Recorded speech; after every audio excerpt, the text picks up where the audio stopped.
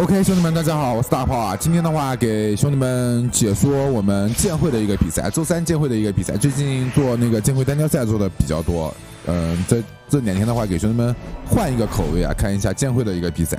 因为呃，上个星期的话，星期六、星期天的话是伏战嘛，所以说的话，呃，离伏战的话也不是特别久啊，就所以说的话，我们这边一般按照梦幻西游的习惯来说的话，冠军的话是不打剑会的。你像珍宝阁冠军，对吧？就没有打剑会。这边的话是我们钓鱼岛的一个团队啊，钓鱼岛的团队的话，在呃星期三也是，就星期一有休息嘛，星期三又打剑会了，在磨练自己的一个技术啊。上呃上次的话也是钓鱼岛输给了珍宝哥嘛，复赛的话钓鱼岛输给了珍宝哥，所以说的话，呃也不能说技术不行，就多就多打打多练练嘛，因为。我跟兄弟们说一下，因为有一段时间的话，前面两个月有一段时间的话，钓鱼岛的话是压着珍宝阁在打，然后的话，珍宝阁现在物理系齐备之后的话，感觉好像现在珍宝阁又压着钓鱼岛在打。就钓鱼岛的话，最擅长的那一套阵容打不过珍宝阁，就是多尼二幺二，是多尼什么尼二幺二的那一套阵容打珍宝阁的斯多尼二幺二打不过，因为什么打不过呢？因为风系没有珍宝阁的那么好，对吧？玩两个风系还是没有珍宝阁那么厉害，就所以说的话。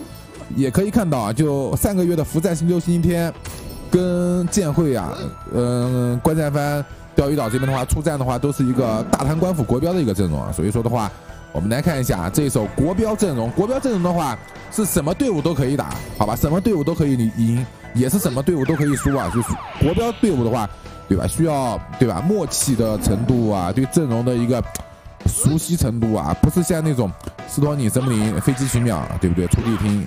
就套路比较单一，国标队伍的话套路要比较多一些，所以说的话磨练的程度要比较多，好吧？不说废话，我们来看一下现在的两边的一个比赛啊。对面的话是我们的画碗的一个团队，也是我们号称对吧第一三公指挥的画碗，画碗团队的呃一个三公的一个队伍，而且对面的话是一个差不多也是一个天正极限大克的一个意思，好吧？对面的话是一把天正，天正本身的话是一个百分之二十的一个阵法加成，好吧？小克之后的话百分之二十五。天正差不多，天天正小克，反正伤害已经拉拉的满都满到不能再满了，好吧？关战帆的话选择点对面的一个宁波城，所以说的话，关战帆点人点的，嗯，就是比较的聪明。为什么比较聪明呢？因为宁波城可以开真菌啊，斯托尼开不了真菌啊，好吧？有斯托尼对面这个斯托尼飞宝宝伤害还还还是蛮高的，不过斯托尼这个门派呢，怎么跟兄弟们说一下呢？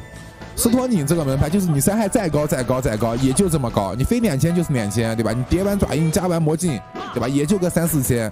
但是宁波城这个门派的话，不跟你嘻嘻哈哈，对吧？起完真菌一刀砍你一万。就所以说的话，就现在都聪明了，以前都点斯托尼，现在都点宁波城。而且你像关战帆这种伏战队的话，要点的话一定要早点，晚点的话就对面飞几波啊，宝宝稍微掉一掉啊，就关战帆再想点就不太好点。小死丸没有挂中，有有一点点可惜啊。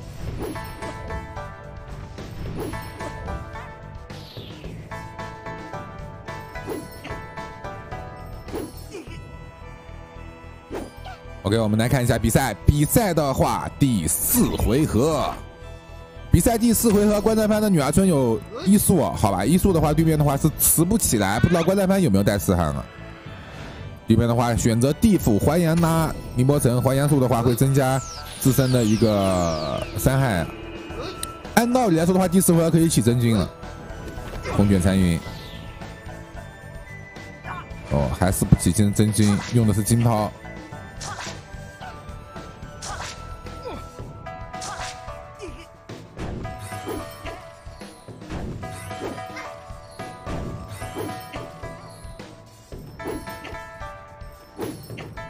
就如果说我跟兄弟们说一下，就现在的话，嗯，现在你不起真菌的话，真的不太好打。现在这个比赛一定要起真菌啊！没有真菌的话，你先靠这种平平常常的飞机加群秒，先推掉伏战队，你不说钓鱼岛这种超级，对吧？豪门，对吧？反正比较的困难，一定要起真菌。这边飞机。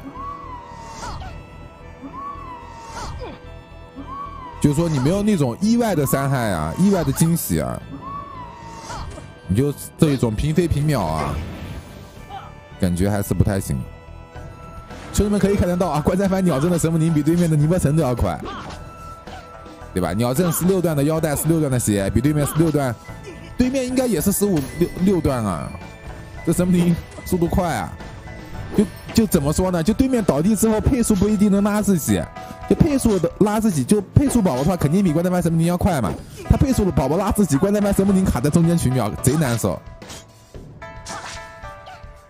哎呦，你看这尼莫神伤害也高啊！捅一刀直接捅出女儿村神佑，女儿村应该是有一把满愤怒，没有用，选择起来一个会员伞。这边的话可以点人了。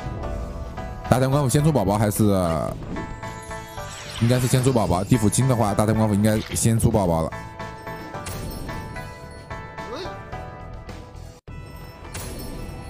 OK。比赛的第七回合比较关键啊！为什么说比赛的第七回合比较关键呢？比赛的七八回合的话，因为八回合地府有宁远了嘛，就所以说对面再倒的话，关战番延长小死完四回合出地听了。我觉得关战番第八回合点人比较好啊，因为对面这个血线的话都不好。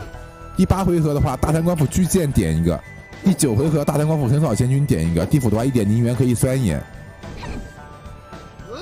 我们来看一下关战番指挥怎么选择。如果我是指挥的话，我就这样打，对吧？这一回合大贪官，我可以起个盾嘛，稳一稳嘛。神明的话再取秒一波，压低对面的一个血线嘛。第八回合再点嘛。第八回合巨剑点，第九回合横扫千军点。对面小死丸没有挂中，关战番接了一把青青，看一下关战番怎么选择。小死丸点没有选八，选择八回合点，而且点的是对面破血环攻点也可以。哦，横扫千军。对吧破血环攻点也行啊，横扫天军搭秦一三叠，好吧，颠倒之后，那下一回合的话，地府可以延残小死丸，那对面的话三攻变两攻，对吧？关战方也是两攻，对面也是两攻，那这个比赛没了。就有一段时间三公团队打这种副战团队胜率比较高，有一段时间，就现在的话，都差不多知道三公团队的套路了，就起真军怎么样的。而且三公团队的突破点在哪，就差不多都懂了。就所以说，现在打三公团队的话，伏战团队的胜率要高很多。很难得看见，就是这种伏战比较豪门的一个团队打不过三公。就有的时候给兄弟们换个口味啊，一直播剑会单挑赛也没意思，给兄弟们，对吧？换一换口味，换一换心情。兄弟们有喜欢看的比赛都可以跟我说啊，反正，对吧？有精彩的比赛都可以，欢迎兄弟们投稿吧。反正做视频也不用钱，看视频也不用钱，就不用喷我了，帮我点点赞，对吧？评论评论就行，好吧，兄弟们。啊，看个视视频，对吧？点点赞，手有手留余余香，兄弟们。比赛第八回合。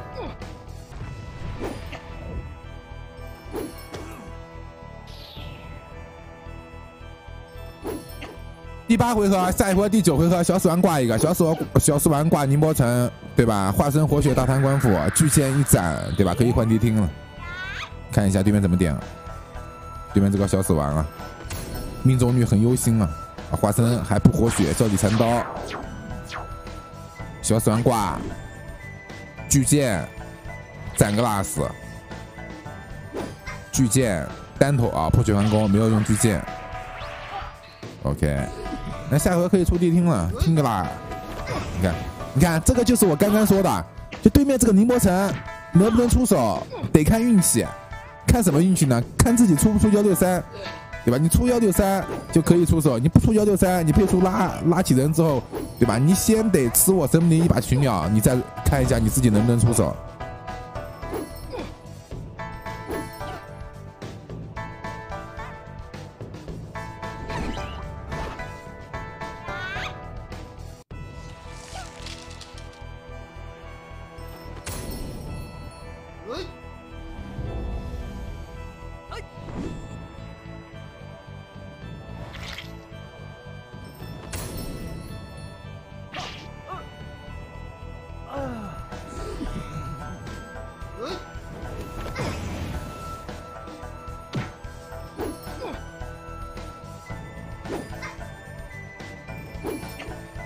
比赛第十回合。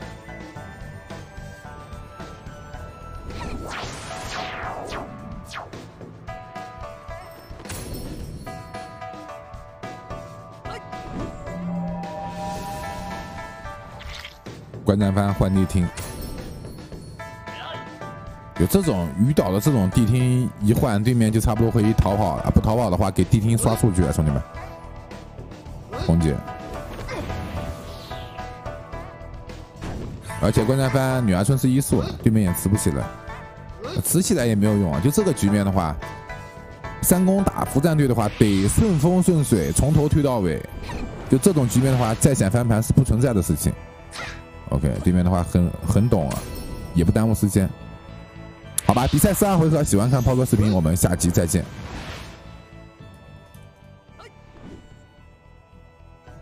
战敌餐巾雪雨，看一下，三公队伍的法法术反应比较低啊，对吧？一把战地，一把餐巾雪雨，秒一万了。